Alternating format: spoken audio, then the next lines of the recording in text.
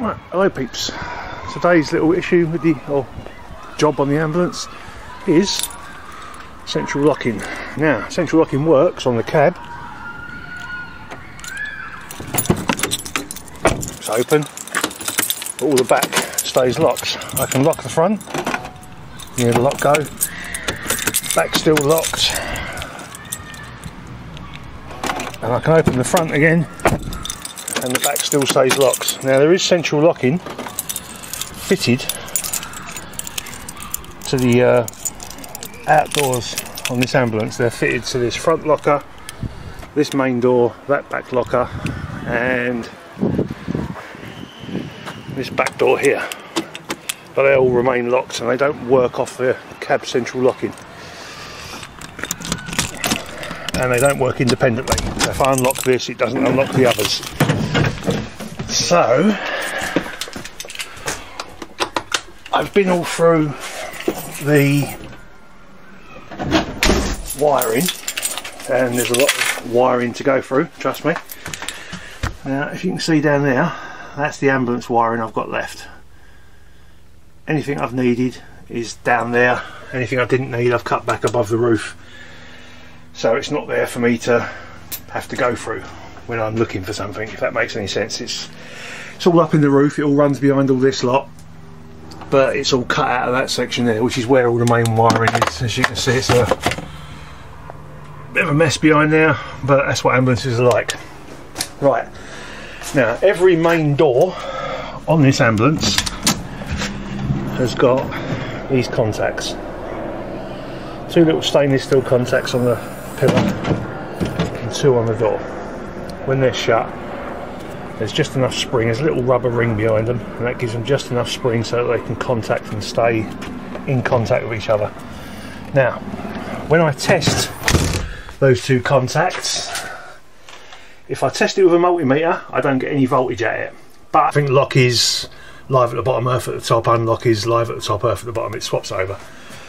And it locks all four doors. So I know the central locking works it just doesn't work off of the van so what I've done is I've bought myself a remote central locking kit off of Amazon obviously. It's just a, a relay. It's just a remote control relay. I've got a few of these remote control relays. Um, I bought a um, central locking specific one because this one will invert the live and earth most of the remote relay kits they'll just switch the relay on switch the relay off. They won't invert the live and the neutral which is what you need for these aftermarket central locking activators. They've only got two wires. Um, it'll be live on the yellow earth on the green and then live on the green and earth on the yellow to lock and unlock.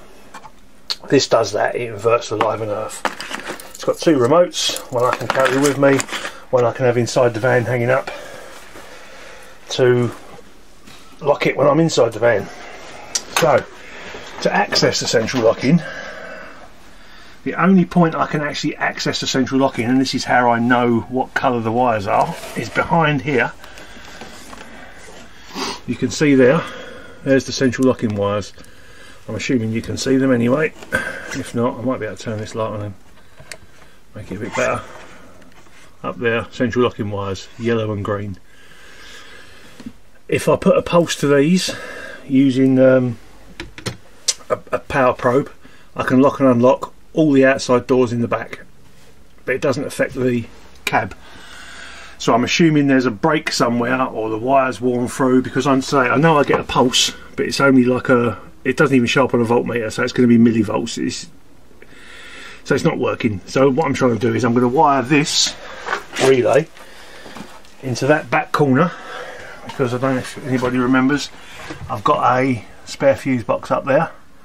With the main live I've run around from the front for things like um, the outside lights work lights on the outside. I'm going to put LED strips inside them so they're not only alleyway lights they're also warning lights. So what I'm going to do is I'm going to wire in that relay into this corner and hopefully it will start operating the central locking. We'll see. I'm going to wire it in um, I'm not going to film it while I'm doing it because there's not a lot of room.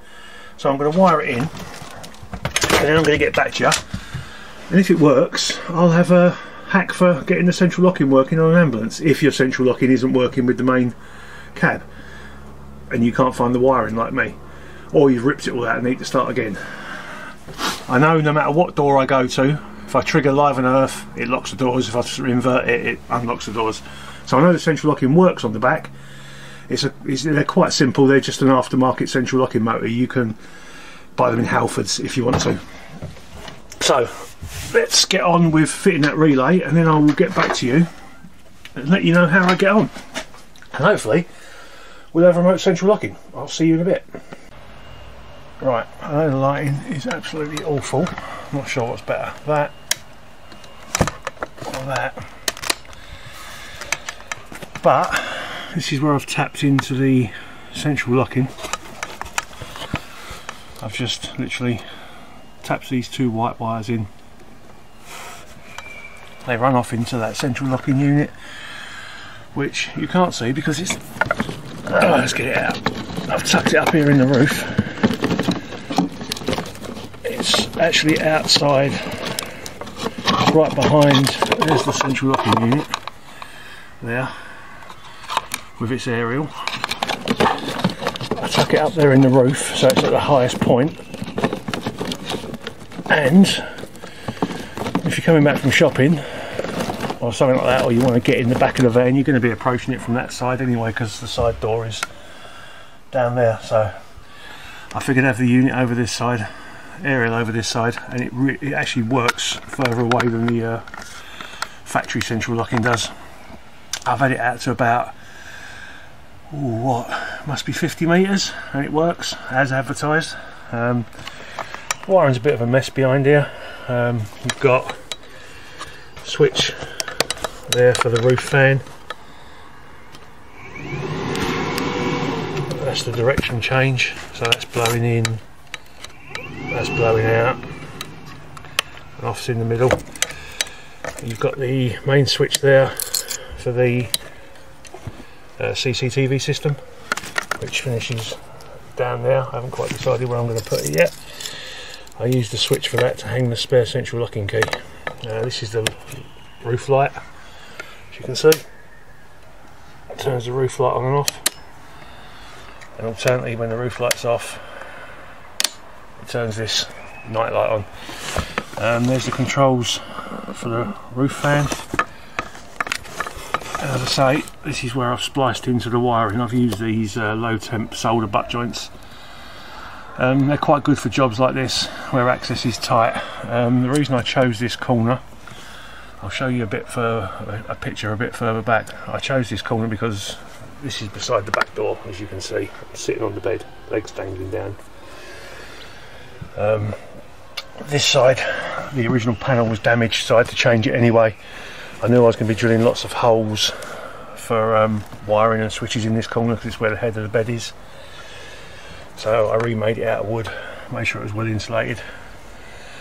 And fortunately I managed to access these little buttons the back of these little buttons. These are where the central locking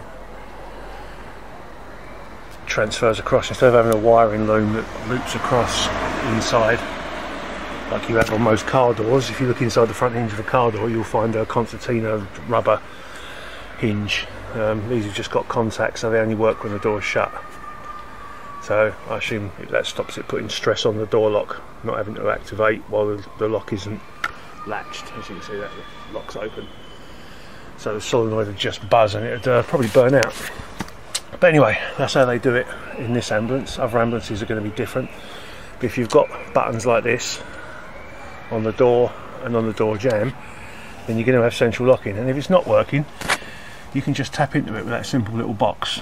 It's not worth me showing you the wiring because every every wiring situation is different.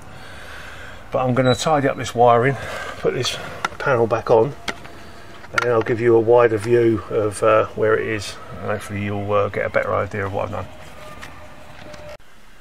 Right hopefully you can see there's the back door. Um, there's that rear corner that rear corner is blocked in by the cupboard. So I left the original UPVC same as on the ceiling covering that. This side I decided to cut into three parts. You've got the main part. From that line you can just about see there down to below the bed. That's fixed doesn't come off. The top part comes off so I can access that wiring you saw with that badly lit video just a second ago um, I've got I think I've showed all this before. I've got hidden that you can't get to USB switches there. Um, night light up in there. You can see there's the secondary fuse box. Um, this panel will be filled in but that'll be left. So I can still access it without having to take stuff apart. Um, roof vent switch etc I just showed you that anyway. This is the wiring for the CCTV I've got a screen to go on the end of that. That's the four power wires and the four inputs from the four cameras. This wiring's got to run up inside that ducting up to the fuse box. That's for the water pump and the what will be a socket. You see that red and black wire down there? That'll be a socket for the fridge a 15 amp. Um, one of these Hella 15 amp sockets is going to go down there to plug the fridge into so that's got to be tidied up but yeah that corner um, I remade it out of wood because I knew I'd be taking it on and off to access wiring. Um, it was damaged anyway, it had lots of holes drilled in it. So that's in three pieces. Top part comes off with two screws so I can access the wiring. Middle part stays there, bottom part comes off so I can access the back of the lights. The rear lights are LEDs so they don't need bulbs changing. But, you know, I'm going to have to access them at some point, even if it's just to change them. So there you are.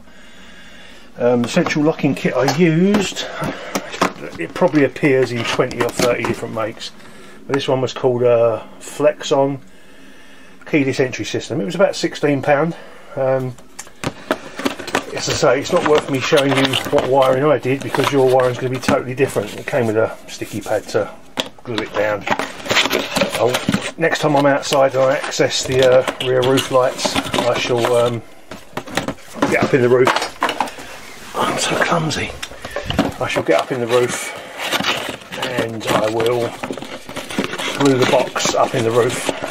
as I say, it'll be right behind the uh, awning light outside. I'll show you in a second anyway.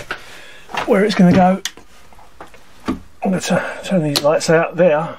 If you can see that hanging there is the spare key for the central locking and just to prove a point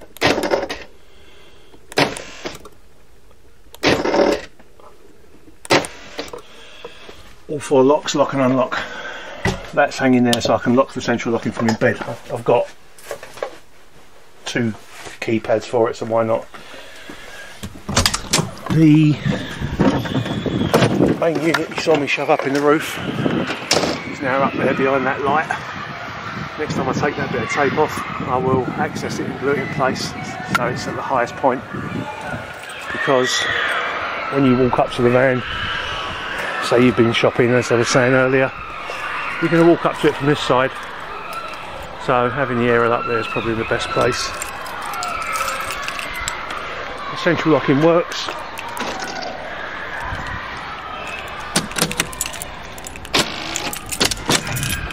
on that door it works on this door which is the back of the bathroom and will be an outside shower eventually See, it locks on that as well. It locks that door.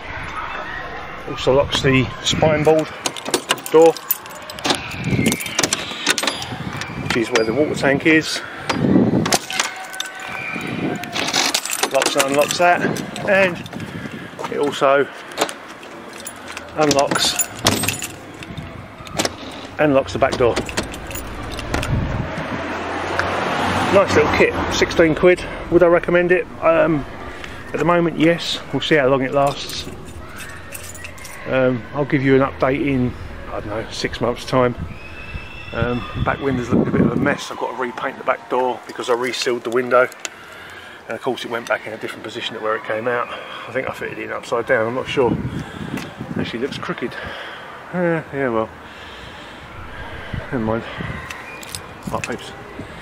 So that's where we are. Um, keyless entry system wired into the back of the ambulance now works perfectly. The three lockers on this side, don't have central locking, they're only operated by the key. Only the ones on the other side. It doesn't operate the cab, anything that operates the cab the cab central locking, which at the moment isn't working on the driver's side.